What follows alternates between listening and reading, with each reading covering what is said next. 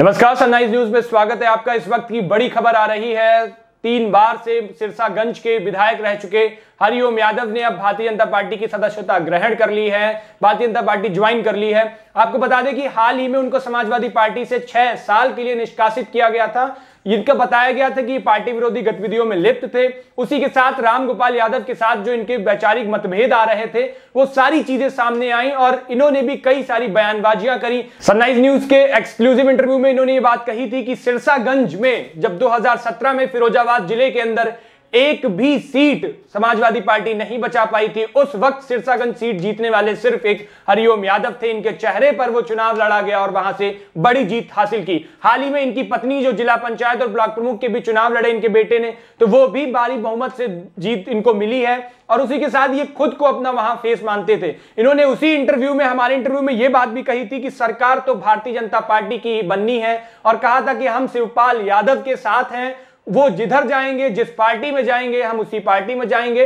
हर party के दरवाजे मेरे लिए खुले हुए हैं। तो अब ये देखना खास होगा कि क्या कुछ होता है। बाकी हमारा ये इंटरव्यू सुनिए। नमस्कार, स्वागत है आप सभी का सनराइज न्यूज़ में। मैं आपके साथ विशाल। उत्तर प्रदेश में चुनावी सरगर्मियाँ तेज हो गई है। सभी पार्टियाँ जोड़ तोड़ में लगी हुई है। इसी बीच हमारे साथ मौजूद है सिरसागंज से विधायक और सपा से निष्कासित अभी हाल में ही हुए हैं। हरिओम यादव जी बहुत बहुत स्वागत है सर आपका सनराइज न्यूज़ में। थैंक यू सर आपको अभी सपा समाजवादी पार्टी से निष्कासित किया गया है छः साल के लिए।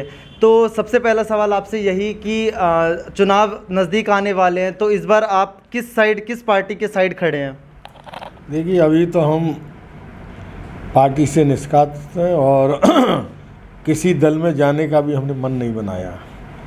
अब इसका हम फैसला अक्टूबर में करेंगे। हम अपनी जनता से पूछेंगे कि हमें निर्दलीय लड़ना चाहिए या किसी दल में जाना चाहिए। पहली हमारी प्राथमिकता समाजवादी पार्टी है। अगर समाजवादी पार्टी में हमें सम्मान अगर नहीं मिलेगा तो बहुत दल हमको और भी दल हैं जो हमें लेने को तैयार हैं, टिकट देने को भी तैयार हैं। वो हम अपनी जनता से पूछ के फैसला करेंगे कि हमें किस दल में रहना है, कहाँ जाना है किस दल से चुनाव लड़ना है या निर्दलीय लड़ना है?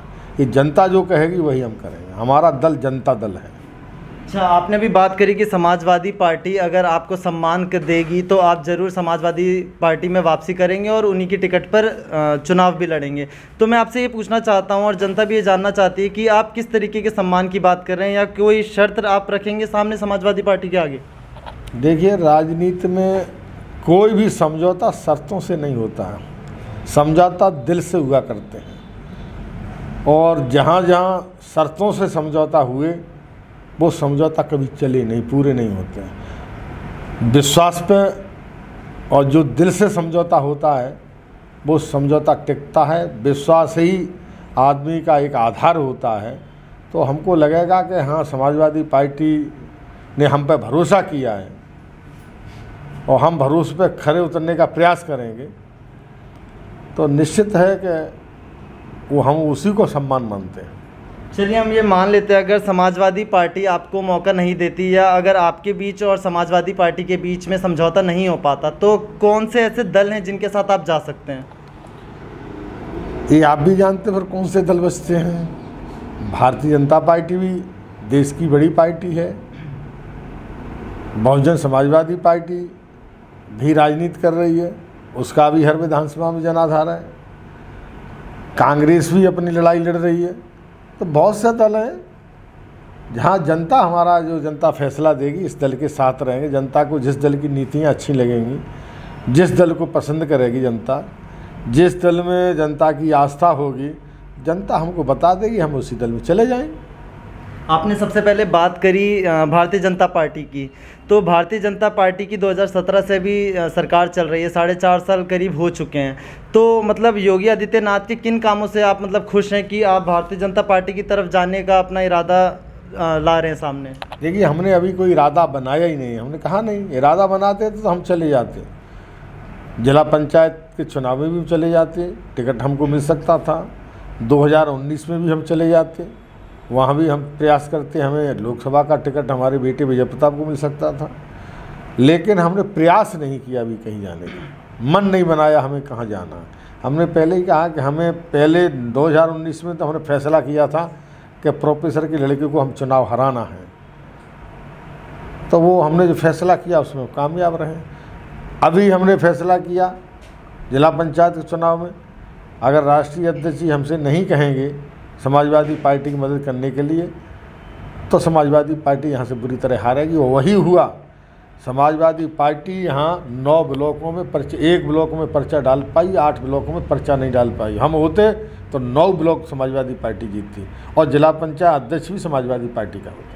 जैसे अभी पंचा, पंचायत के भी चुनाव हुए तो भारतीय जनता पार्टी ने आप ही को श्रेय दिया कि भारतीय जनता पार्टी को जिताने में आप ही का सबसे बड़ा हाथ है। तो मतलब कहीं ना कहीं समाजवादी पार्टी भी सही है अपनी जगह कि भाई आप पार्टी के खिलाफ कुछ गतिविधियों में शामिल है, इसलिए आप पर इस तरह की कार्रवाई की जा रही है।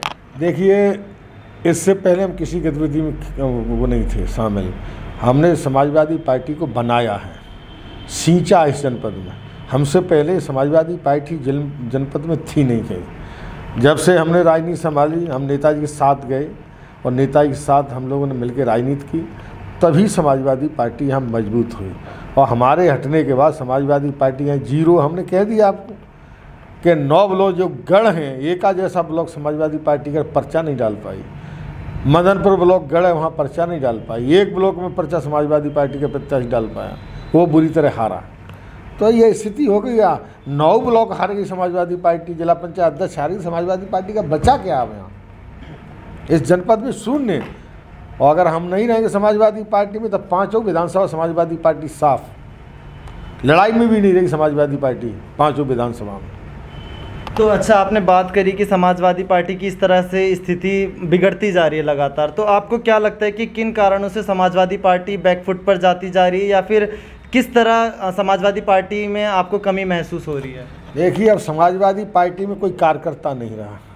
समाजवादी पार्टी में सारे लोग नेता हैं। जो एक बार राष्ट्रीय अध्यक्ष से मिल जाता है, वो फिर कार्यक्रम वो नेता हो जाता है आके। और सीनियर लोगों का अपमान करने लगते हैं लोग, जिनकी कोई हैसियत नहीं, गली मोहल्लों में नहीं जानते। तो जब पार्टी में सब नेता ही हो जाएँगे तो फंस कौन बिछाएगा? कुर्सियाँ कौन डालेगा?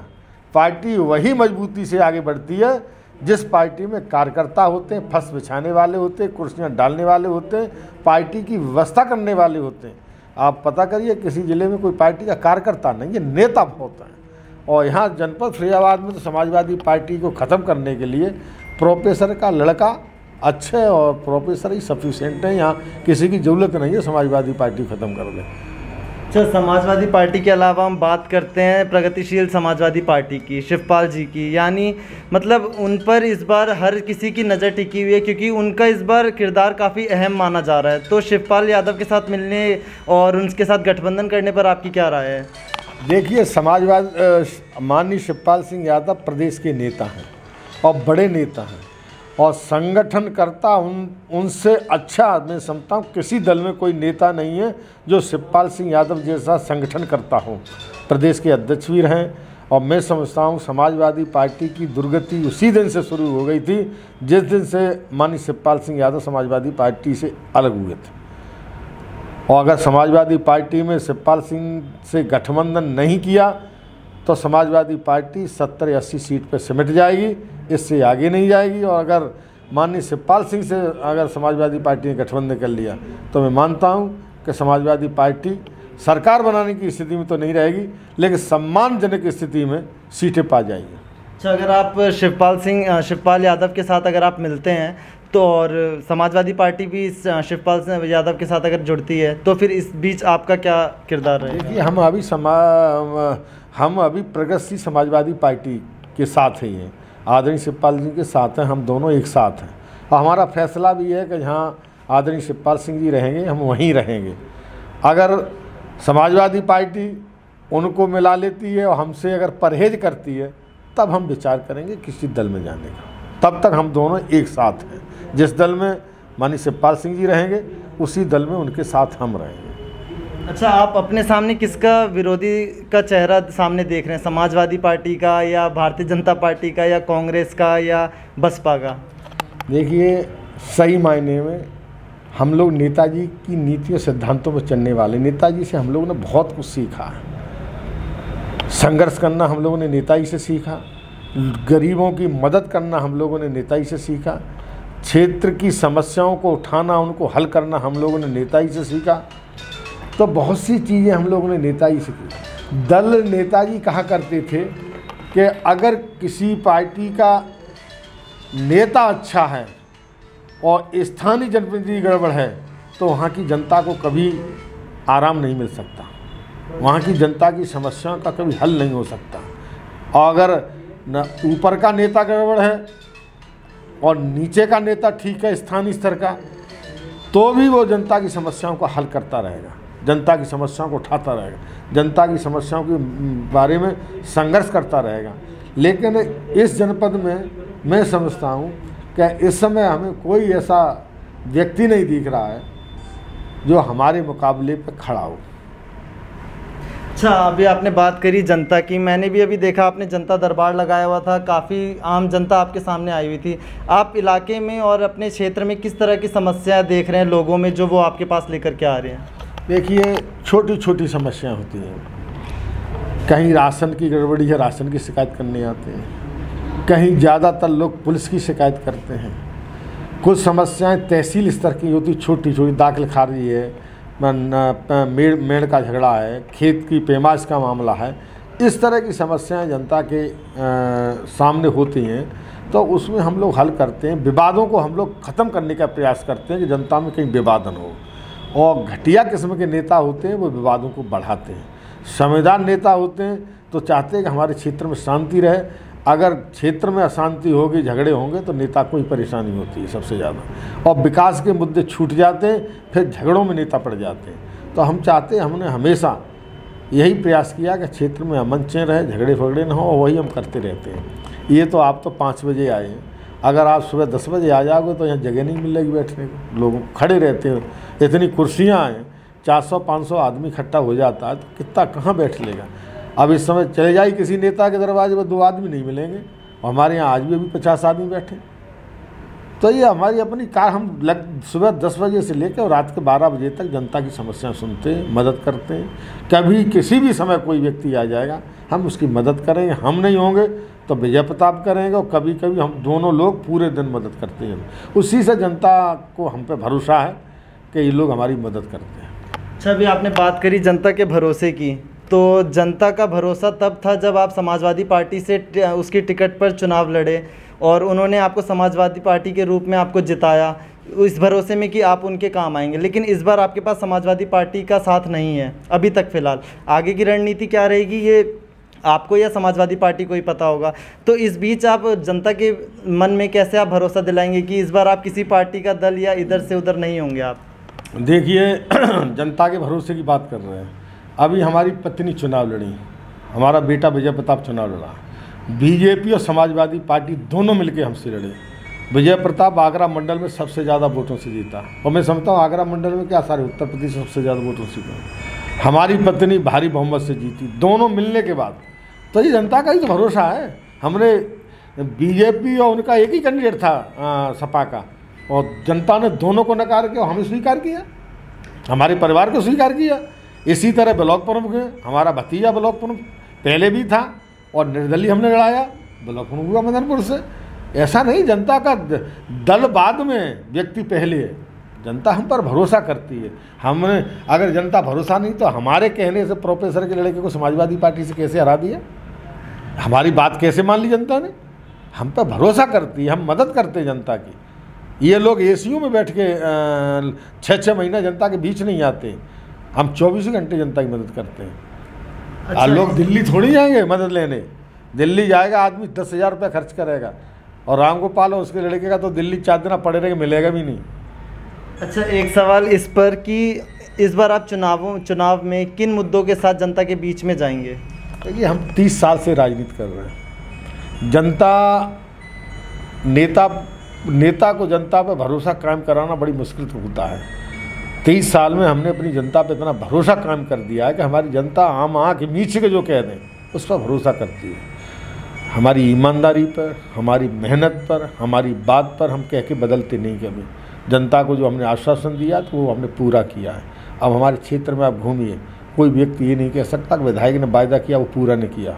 वायदे से हम 21 रहे, चाहे विकास का वायदा हो चाहे मदद का वायदा हो, चाहे संघर्ष का वायदा हो।